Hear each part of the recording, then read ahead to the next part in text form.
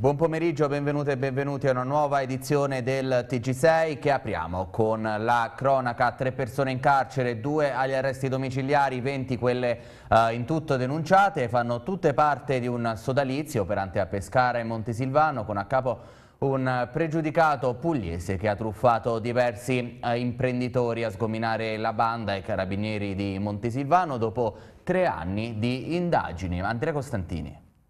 Circa 70 truffe di imprenditori della provincia di Pescara, di Teramo, ma anche di Marche, Umbria, Emilia-Romagna e Lombardia. Le attività illecite di un sodalizio criminale sono state portate alla luce dai carabinieri della compagnia di Montesilvano dopo tre anni di complesse indagini dirette dalla Procura della Repubblica di Pescara, che hanno preso il via a seguito di un paio di attentati subiti da un imprenditore di Città Sant'Angelo ad agosto e novembre del 2018. Un giro di affari con profitti illeciti valutabili in circa circa un milione di euro. Il bilancio è di 5 persone arrestate, 3 in carcere, 2 ai domiciliari, 20 quelle denunciate. Gli indagati sono ritenuti responsabili a vario titolo di associazione per delinquere, estorsione, intestazione fittizia di beni, riciclaggio, truffa, appropriazione indebita, ricettazione, danneggiamento e porto e detenzione abusiva di armi. Il gruppo criminale aveva al suo vertice un pregiudicato pugliese ed era attivo a Pescara e Montesilvano. Il sodalizio acquisiva mediante condotte condotte tipicamente estorsive, varie attività commerciali attraverso le quali riciclare gli illeciti proventi delle attività delittuose. Una volta acquisite, le attività commerciali venivano date in gestione a prestanome, grazie ai quali l'organizzazione portava a compimento le truffe.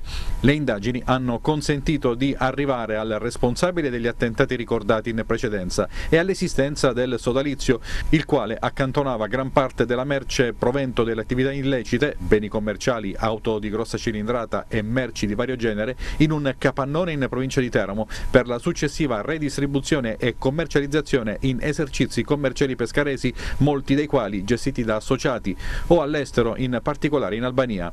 Gli ulteriori sviluppi investigativi hanno permesso di identificare tutti i componenti del gruppo, i quali in alcuni casi sono responsabili di reati non connessi alle attività dell'organizzazione.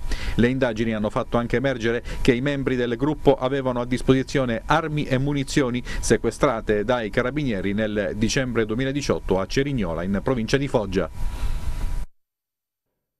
È morto per annegamento Giulio Di Timoteo, il 62enne di Notaresco, il cui corpo è stato rinvenuto due sere fa sulla superficie del laghetto artificiale di Piano de Cesare di Morrodoro, che state ora vedendo in queste immagini. È quanto emerso dalla ispezione cadaverica effettuata ieri. Sul braccio sono stati rilevati dei tagli compatibili con le macchie di sangue trovate nella sua vettura parcheggiata nei pressi del lago. Elementi che fanno convergere gli investigatori verso l'ipotesi di un gesto volontario da parte del 62enne che da un mese era andato in pensione. E ora ancora cronaca, un 37enne di Chieti ritenuto responsabile di aggressioni ai danni di alcune persone, tra le quali eh, il gestore di un bar, è il primo destinatario in tutta la provincia di Chieti del divieto di accesso negli esercizi pubblici e nei locali di pubblico intrattenimento per la uh, durata di due anni. Si tratta del cosiddetto DASPO urbano che era stato introdotto nel 2017 dal decreto Minniti Orlando e ora eh, esteso eh, è chiamato Daspo Willy a seguito dell'uccisione di Willy Montero Duarte a Colleferro. La misura di prevenzione che ha efficacia sull'intero eh, territorio provinciale è stata adottata dal di Chieti, Annino Gargano, al termine di un'accurata istruttoria svolta dalla, dalla divisione di polizia anticrimine. La violazione del divieto è punita con la reclusione da sei mesi a due anni e con la multa da 8.000 a 20.000 euro. Cambiamo argomento, eh, si avvicinano gli esami di maturità, in provincia di Teramo sono 2100 i maturandi che oggi eh, iniziano gli esami di Stato. La maggior parte di loro ha ricevuto la prima dose di vaccino e nelle scuole tutto è programmato nel rispetto delle norme sanitarie. Tania Bonici Castelli.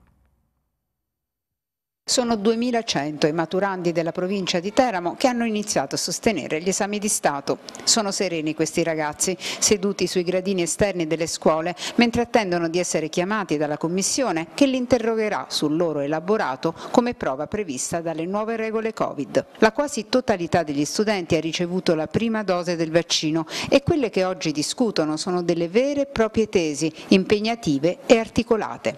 L'emozione prima di entrare è comunque tanta. Lei sta per entrare a sostenere i suoi esami di maturità e insomma come si sente? Eh, potrei svenire qui da un momento all'altro o sentirmi male, cose simili, sì, sono molto in ansia. La sua tesina su che cos'è? Eh, sull'impotenza del potere, cioè sul, sui limiti dell'uomo applicati anche agli uomini potenti. E chi sono gli uomini potenti? Eh, tutti gli uomini che hanno scritto la storia, ad esempio tutti quelli che noi continuiamo a studiare. Sono solo uomini, le donne ci sono in questo potere? Purtroppo no. Al liceo classico Delfico di Teramo, come negli altri istituti della provincia, i protocolli sanitari sono stati rigidamente applicati e rispettati. Oggi iniziano gli esami di Stato al liceo classico, beh, insomma la scuola più rappresentativa della città, come sta andando e come vi siete organizzati? Ci siamo organizzati, beh, l'organizzazione è dettata ai protocolli e abbiamo seguito e dato informazione relativamente a quelle sono le procedure così come eh, stabilite. E eh, diciamo che non abbiamo avuto quest'anno, l'anno scorso forse c'è stata qualche difficoltà in più nel senso dal punto di vista della tempistica, quest'anno diciamo, eravamo già eh, pronti, abbiamo allestito gli spazi piena, eh, nel pieno rispetto dei protocolli e soprattutto nel grande rispetto dei ragazzi e della loro eh, tranquillità, loro hanno tanto bisogno di questo in questo momento, speriamo di, ma credo, sono convinta di aver, che insomma gli sia stato garantito. La prima maturanda di Teramo, alle otto e mezza, lei ha superato i suoi esami di maturità, com'è andata? È andata molto bene, alla fine nonostante l'emozione iniziale siamo riusciti a, ad arrivare fino alla fine senza nessun problema, i professori sono stati molto comprensivi e in generale è andata, è andata molto bene. Senza scritti com'è questa maturità? Eh, sicuramente perde quel eh, poetico che c'è nella notte prima degli esami, però nonostante questo diciamo, la cifra emotiva è sempre molto forte. Eh, ieri è stata una notte di riflessione e questa giornata è molto particolare, cioè da sotto un punto di vista emozionale. Le regole anti-Covid prevedono che ad entrare all'interno dell'aula sia uno studente per volta, con al massimo un accompagnatore. Genitori ed amici fuori ad aspettare, ma quando si esce è subito festa. Insomma, al via gli esami di maturità, questi particolari esami di maturità segnati come lo scorso anno sicuramente dalla pandemia. Noi andiamo a Chieti dove il sindaco Diego Ferrara al microfono di Paolo Renzetti ha voluto fare gli auguri agli studenti. Sindaco, la giornata di oggi è una giornata importante, partono gli esami di maturità, l'augurio del primo cittadino agli studenti di Chieti e agli studenti che studiano a Chieti. Amo i giovani, eh, conosco eh, loro, eh, la loro bravura e, e il loro ingegno, eh, dico solo questo a, agli studenti di Chieti, ehm, diplomatevi, andate all'università, alle università del territorio e per cortesia via cercate di eh, rimanere nel territorio approfittando eh, di eh, qualsiasi eh, futura occasione di lavoro perché voi siete il futuro e questo territorio merita che eh, restiate eh, diciamo in esso a dare la vostra opera. Abbiamo dovuto superare delle prove gigantesche e devo dire che nei primi mesi del 2021 soprattutto nel mese di eh, febbraio eh, ho temuto eh, fortemente eh, di non riuscire eh, a farcela, eh, non personalmente ovviamente ma con la mia amministrazione, a fronteggiare i problemi che la pandemia stava determinando e ha determinato. Per quanto riguarda gli studenti io capisco che arrivano stremati a, questa, questa, a queste prove di esami di Stato, soprattutto eh, per la mancata socializzazione di tutti questi mesi che come ho detto in un'altra intervista la socializzazione per i ragazzi rappresenta l'ossigeno con cui eh, vivono. Cambiamo argomento, la politica ci porta ora a Roseto degli Abruzzi dove torna in campo Tommaso Ginoble. L'ex parlamentare nei giorni scorsi ha ufficializzato la sua candidatura a sindaco di Roseto, infatti al termine dell'estate ci saranno le elezioni amministrative. Stefano Recanati. Sta per entrare nel vivo la prossima campagna elettorale in vista delle elezioni amministrative. Tre comuni al voto in Abruzzo, la data più chiacchierata quella del 10 e 11 ottobre, anche Roseto degli Abruzzi. E proprio il comune costiero della provincia teramana ha il suo primo candidato sindaco. Si tratta di Tommaso Ginoble, che dopo le esperienze come assessore regionale e parlamentare ha deciso di mettere tutta la sua esperienza politica acquisita al servizio dei suoi concittadini. Questo è il motivo principale di una persona che vede un po' annaspare la crescita della propria cittadina, della propria comunità e anche un po' di tutto il territorio provinciale, insomma, nei riguardi delle altre province abruzzesi, quindi l'amore per questo, una passione che nonostante gli anni uno coltiva ancora e, e la possibilità, come devo dire, di fare anche da facilitatore per il rasserenamento di un clima troppo conflittuale che non è buono per, eh, per i lavori. Essere sindaco di Roseto, dice Ginoble, non sarà solo un ritorno a casa, ma una missione al servizio della città, che ha tutte le carte in regola per dettare il passo ed essere guida in provincia di Teramo e nella regione Abruzzo. Quello di guardare in maniera ampia ma nello stesso tempo molto risolutiva nei riguardi proble dei problemi e mi piacerebbe insomma, che la mia candidatura venisse segnata da tre elementi che segneranno eh, il futuro amministrativo, la velocità delle decisioni, la risoluzione degli stessi ed essere giusto nei riguardi dei bisogni di tutti i cittadini. Ha già iniziato a palpare quali sono le sensazioni del suo rientro nella cittadina di Roseto e quali potrebbero essere i propri alleati? Guardi, mi sembra che la sensazione è buona e che è da pre-campagna elettorale, quindi insomma è difficile anche da definire completamente. Io voglio compagni di viaggio, ho scelto di fare una coalizione nel segno della cittadinanza senza partiti, sono stanchi dei litigi. Eh, non mi interessa da dove vengono i miei candidati, ma quello che vogliono fare con me se dovessimo assumere la guida di questa città per i prossimi cinque anni.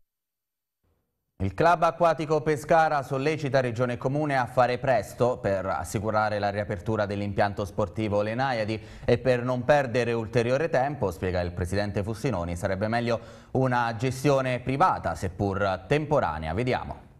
Il nostro vero cruccio è riaprirà a settembre le Naidi? Le società sportive che avevano casa nell'impianto Le Naiadi di Pescara temono che le piscine non riapriranno nemmeno a settembre. Tra queste c'è il club acquatico che ha dovuto trovare ospitalità nelle altre strutture del circondario. La squadra di pallanuoto affronterà i playoff per salire in A2 ma rischia di rimanere senza la piscina per le gare interne. Per noi è un semidisastro perché le attività e il numero degli atleti sono talmente tanti che non riusciamo a completare compensare solo con l'attività qui nella piscina provinciale. Tenete presente che quest'anno per larga fetta dell'inverno con le attività agonistiche ci siamo dovuti appoggiare eh, alla piscina di San Buceto che chiaramente ringraziamo, ma in questo momento stiamo andando anche alla piscina di Chieti che è a riaperto e addirittura da domani iniziamo anche la piscina di Francavilla, quindi sostanzialmente stiamo un pochettino sondando tutte le piscine del circondario per riuscire a dislocare le nostre attività, in particolare quelle che hanno bisogno dell'acqua profonda perché la piscina provinciale è una piscina di quartiere quartiere, ha una, una profondità eh, bassa. In merito al discorso della pallanuoto, noi dovremmo disputare i playoff, ancora non si sa se riusciremo almeno a farli a Chieti, ma noi abbiamo fatto un campionato sempre in trasferta, giocando alla piscina del passetto di Ancona. E quindi c'è un problema oggettivo immediato, perché sono costi incredibili che abbiamo dovuto sopportare. Meglio una gestione privata, seppur temporanea, piuttosto che quella pubblica, sostiene il presidente Fustinoni, altrimenti si rischia di perdere settimane preziose. Noi non siamo né contro regione né contro comune, noi abbiamo solo eh, la paura del tempo, perché? Oramai mancano 15 giorni, questo deve essere chiaro per tutti, per decidere se le piscine si riapriranno, ma non quest'estate, ma a settembre. La programmazione, non solo l'apertura delle vasche, ma la programmazione commerciale organizzativa e le persone eh, di riferimento devono essere coinvolte in questo momento. Fra 15 giorni, se passano questi ulteriori 15 giorni, non riapriremo neanche a settembre. Oramai la stagione estiva, che molti dicono è alle porte, è già andata. La soluzione potrebbe essere quella di trovare il soggetto pronto a gestire nel frattempo. Poi mi pare chiaro che la previsione della Regione già da due anni a questa parte era quella di eh, trovare dei finanziatori, in questo caso c'è questo benedetto project che va eh, in giro da parecchi anni, è stato presentato da un nome di spicco come Amedeo Pomilio che è sicuramente una garanzia per tutti in maniera trasversale, poi andrà a gara, però l'importante è che la Regione faccia presto ad approvare questo iter. Arriva Mare più bello, la guida annuale di Legambiente Touring Club italiano sui comprensori balneari più belli e sostenibili della penisola. Torre del Cerrano rappresenta ovviamente l'elemento più prestigioso della guida blu eh, in Abruzzo nel 2021, premiata con le quattro vele, quindi conferma questa performance, un premio che noi consegniamo insieme al Touring Club italiano proprio per promuovere le realtà eh, turistiche di più alto pregio. Ovviamente Torre del Cerrano rappresenta anche in quanto area eh, naturalistica protetta un elemento forte che viene alla direzione anche della ripartenza, non è un caso che la guida blu l'anno scorso non è uscita uscita proprio legato al tema della pandemia che ha un po' bloccato tutte le nostre attività. Quindi oggi è un momento per ripartire, per farlo dentro un'area che ha le sue bellezze e che dal punto di vista non solo naturalistico ma anche turistico rappresenta un elemento di forza e pilota per l'intera regione Abruzzo. Naturalmente l'aver ospitato oggi la cerimonia regionale per la guida blu di Legambiente e Touring Club Italiano e l'aver ricevuto l'ambito riconoscimento delle eh, quattro vele di Legambiente è un momento importante di promozione del turismo responsabile e del turismo sostenibile sulla nostra area. Le aree protette nascono per tutelare il territorio, per tutelare la biodiversità, per tutelare la nostra natura, quindi l'obiettivo prioritario è quello, dobbiamo essere bravi a saper gestire i flussi turistici, dobbiamo puntare, dobbiamo investire seguendo le finalità dell'area marina protetta che prevedono proprio la, la promozione di un turismo che sia responsabile. A Torre Cerrano si possono possono effettuare visite guidate con le guide e con le società che gestiscono i servizi turistici, si possono effettuare escursioni e visite guidate alle scoperte delle pinete costiere, alla scoperta della duna che è un elemento importante di biodiversità ed è un punto che tuteliamo perché proprio in, quella, in quell'area, in quella zona nidifica anche il fratino che insieme a tanti volontari e tante associazioni ambientaliste proteggiamo con il progetto Salva Fratino. Di fronte a Torre Cerrano si può effettuare lo snorkeling tra i resti dell'antico porto eh, sommerso, così come abbiamo dedicato uno spazio che verrà installato a breve al mezzo miglio blu, quindi un tratto di costa, un tratto sicuro di mare dedicato al nuoto, quindi ai professionisti e agli sportivi che vogliono nuotare in maniera sicura in un'area marina protetta. Ha fatto tappa a Pescina, la carovana della prevenzione, il programma nazionale itinerante di promozione della salute femminile di Come in Italia che ha lo scopo di sensibilizzare alla prevenzione delle principali patologie oncologiche di genere. Vediamo il servizio.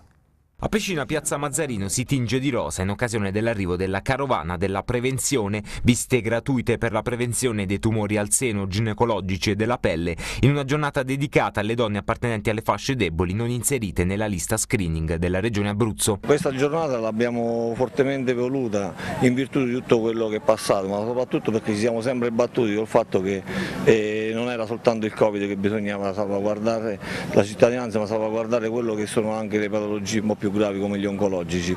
Questa giornata è proprio dedicata a, tutte, a tutti loro, e, mh, proprio in virtù di quello che, che loro eh, sulla, sul nostro territorio, sulla nostra piazza danno assistenza e danno possibilità a, di prevenzione nel fare queste visite dedicate soprattutto al, al genere femminile. Con la prevenzione si arriva prima delle cure, quindi di conseguenza questo è che vogliamo, vogliamo prevenire, meglio prevenire che curare. Un po' come quello che è stato fatto sotto questa pandemia, abbiamo cercato di prevenire quello che potevano essere contagi, vogliamo farlo anche per quest'altro tipo di patologie. Oggi nello specifico abbiamo diverse patologie oncologiche, abbiamo dermatologia, abbiamo ovviamente senologia, quindi con mammografie e visite senologiche, ecografiche specialistiche. E Abbiamo la nutrizione che ad oggi è uno dei diciamo, eh, problemi che si, eh, si, riscontrano perché una sana alimentazione aiuta a prevenire eh, il tumore del seno e quindi noi cerchiamo ogni volta sul territorio di chiedere um, un supporto da parte della, dei medici del territorio ed aiutarci a portare la prevenzione laddove è più complicato e più difficile farla. E ora la pagina della cultura si terrà da, um, dopodomani, venerdì 18 giugno, in Piazza del Castello a Notaresco, la presentazione del romanzo scritto da Bruno Spadaccini, di cui vedete ora uh, la uh, locandina, La notte dei corvi, 1936, il delitto di San Clemente di Guardia Vomano. Con il patrocinio del comune di Notaresco, relatore sarà Giancarlo Prosperi, letture di Loredana Saccomandi e Giuseppe Pomponio. E questa mattina è stato presentato anche il calendario dell'estate angolana, tanti eventi culturali per rilanciare uno dei borghi più belli d'Italia. Vediamo. Città Sant'Angelo riparte dal turismo e dagli eventi.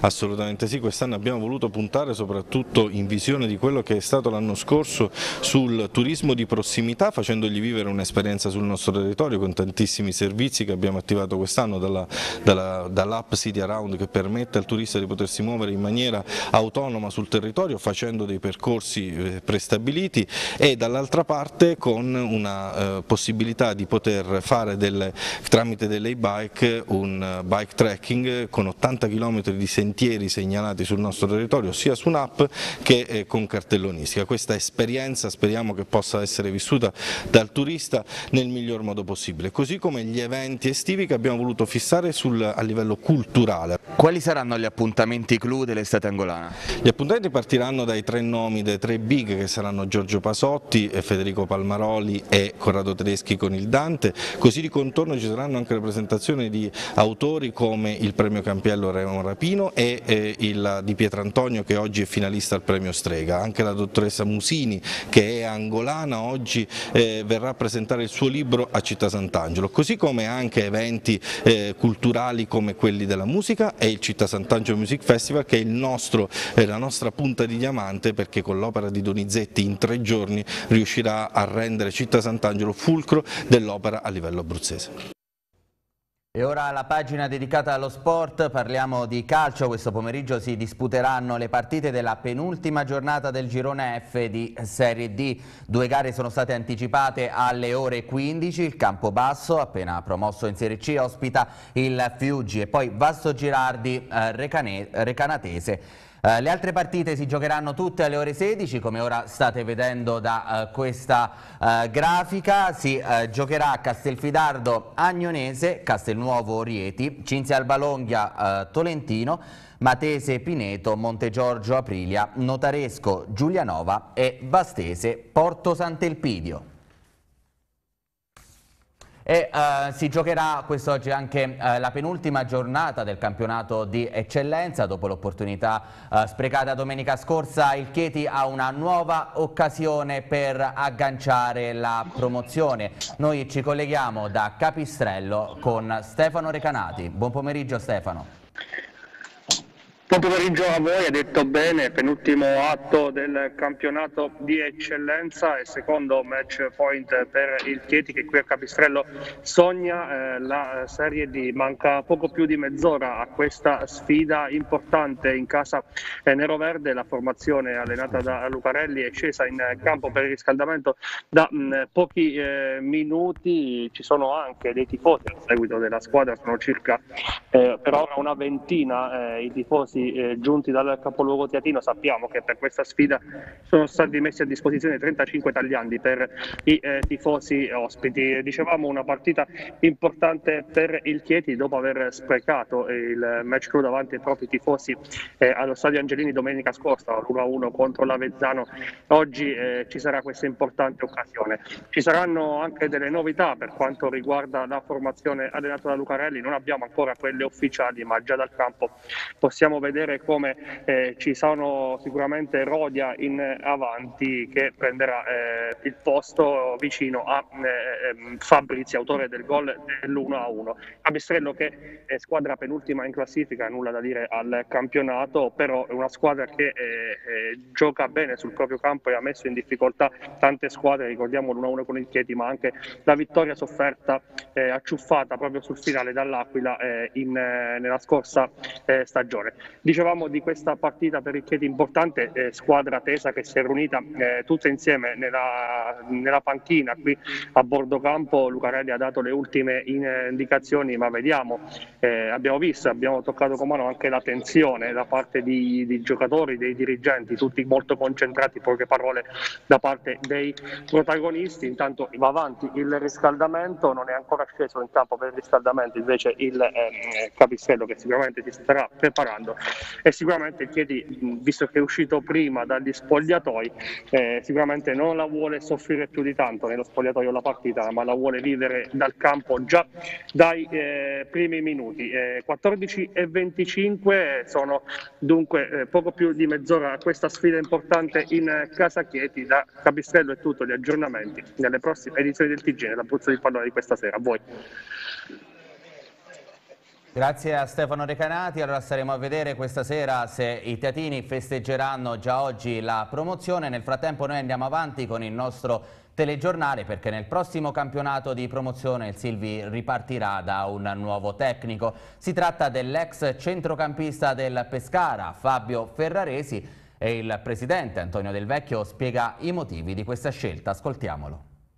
Antonio Del Vecchio, il Silvi riparte da un nome eh, importante, conosciuto, eh, in panchina ci sarà Fabio Ferraresi, alla sua prima esperienza da capo allenatore, come mai la scelta appunto di Ferraresi? Ma eh, noi appena abbiamo saputo insomma, che il precedente mister Castellano volesse provare altre esperienze, siamo subito messi in modo per cercare dei profili sempre di alta qualità e insomma, ci siamo orientati verso Fabio Ferraresi, lo abbiamo incontrato, abbiamo conosciuto, mi ha fatto un'ottima propria impressione, si vede che è uno che ha giocato a pallone, che ha avuto esperienze di calcio professionista, lui dovrà cercare di continuare quel progetto che abbiamo avviato due anni fa, che è quello insomma, di eh, creare una squadra mix tra giovani e giocatori esperti e quindi soprattutto valorizzare alcuni giocatori del settore giovanile.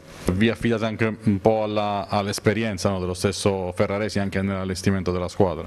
Sicuramente sì, sì, siamo in contatto con lui, col direttore sportivo Antonello Di Crescenzo, in cui stanno lavorando proprio per cercare di capire quali sono i profili adatti adatti al tipo di, di squadra che vuole allestire e siamo convinti che lui insomma, riuscirà a portare anche e soprattutto dei giovani per i fuori quota che siano proprio competenti e preparati per la categoria. E circa il serbatoio di giovani del vostro settore giovanile, contate insomma nel fatto che qualcuno possa emergere? Quello sicuramente, ripeto, c'è stato qualche settimana fa eh, una comunicazione che abbiamo fatto anche sulla nostra pagina Facebook in cui c'era Chiavaroli che ha avuto uno stage fatto presso il Verona Calcio, quindi squadra di Serie A, quindi cerchiamo sempre di mantenere quanto è più possibile nelle nostre potenzialità il settore giovanile, almeno allievi, giovanissimi, insomma, che poi giungono a juniores e prima squadra. Ecco, ecco notizia di un mese e mezzo fa eh, della gestione del campo Ughetto di Febo che sarà eh, di eh, competenza della Pescara Calcio che si è aggiudicato il bando, a breve eh, ci diceva eh, incontrare il Presidente Sebastiani. Sì, guarda, ci siamo sentiti ieri per telefono e a brevissimo nei prossimi giorni fisseremo faremo un incontro insomma, per meglio eh, calibrare un po' la distribuzione degli orari dei giorni nell'ambito di questi impianti sportivi che ricordo che al momento siamo tre squadre di calcio perché c'è il Pescara vincitrice del bando, siamo noi e c'è la Castro, quindi non è facile cercare di chiudere tutte le caselle per quanto riguarda i giorni e gli orari, però noi siamo predisposti affinché si trovi una soluzione che non danneggi nessuno, ecco questo è il nostro obiettivo. Termina qui questa edizione del TG6, i servizi che avete visto li troverete presto online sul canale YouTube e sul sito tv6.it, prossimo aggiornamento con l'informazione questa sera alle ore 19. Grazie.